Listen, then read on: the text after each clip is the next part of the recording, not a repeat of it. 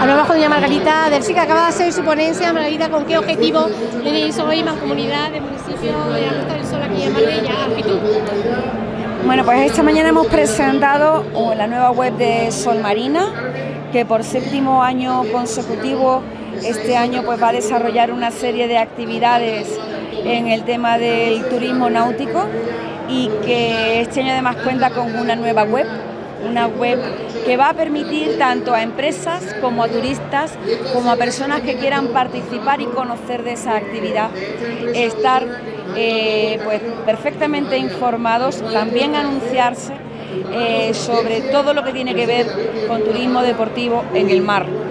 Eh, turismo náutico. este año además vamos a tener incluso citas internacionales en el, en el ámbito de Sol Marina, Fuengirola va a ser el epicentro y vamos a tener incluso un campeonato internacional de paddle surf.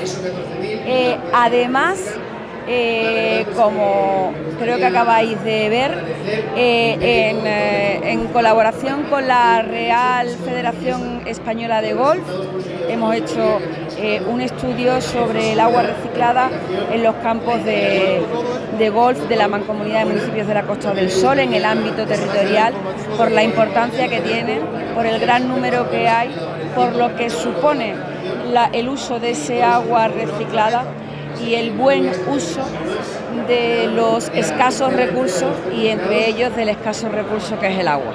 Este año también tenéis un 15% más de presupuesto. ¿En qué se va a invertir? Bueno, pues yo siempre he hecho lo mismo con el presupuesto. Lo que hay que hacer es invertir, invertir, generar eh, nuevas infraestructuras, mejorar las existentes y generar riqueza y empleo. Evidentemente siempre de acuerdo con los, con los ayuntamientos y con los ayuntamientos haciendo eh, obras e infraestructuras útiles para la Costa del Sur. Muchísimas gracias. Muchísimas gracias.